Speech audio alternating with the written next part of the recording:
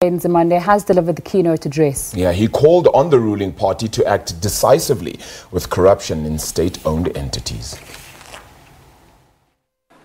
We want the ANC government to clean our state-owned enterprises.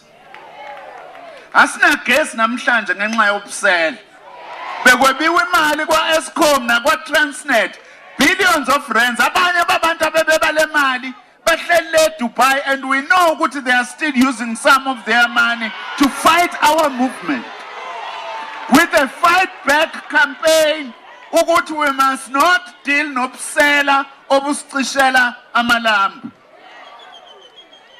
We want the government to invest in Eskom and Eskom must participate in clean renewable energy. I'm akungabi into ye-private sector lento ye-clean and renewable energy Eskom as a state-owned entity must participate in that. We want the anc to preserve the jobs of the hard-working rank and file workers and create decent work. Siyavumelana nawe comrade mike nawe uh, comrade bheki nekosatu as a whole. We also are saying develop the productive sector of the state and also support our cooperatives nosomabhizinisi abancane